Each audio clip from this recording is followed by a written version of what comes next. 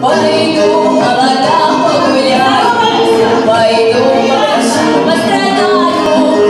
На таком мероприятии точно никто не уснет и не будет зевать от скуки. Не успеешь оглянуться, и ты уже в хороводе. А в следующее мгновение тебе поднесут на пробу экзотическое блюдо. Желающих окунуться в атмосферу искусства оказалось немало. Каждый мог выбрать действо себе по душе.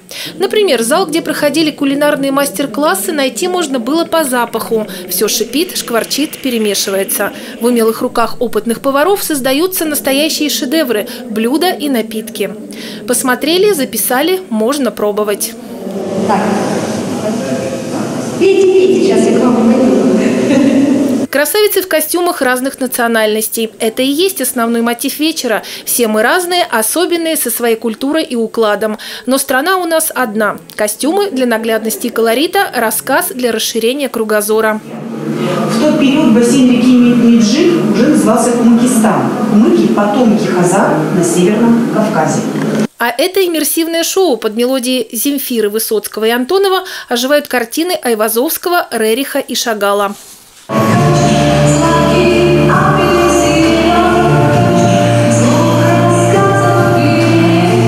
такой атмосфере все способствует раскрытию таланта, а тут как раз и мольберты рядом, берем кисти и творим. Если не писать картины, так рукодельничать или танцевать. Можно и просто созерцать. Над созданием «Ночи искусства» трудилась вся команда Дворца культуры. Проект получился грандиозным. Риски были, придут ли посетители, ведь вход строго по QR-кодам. Но опасения не подтвердились. Котловский зритель как ходил на культурные мероприятия, так и ходит.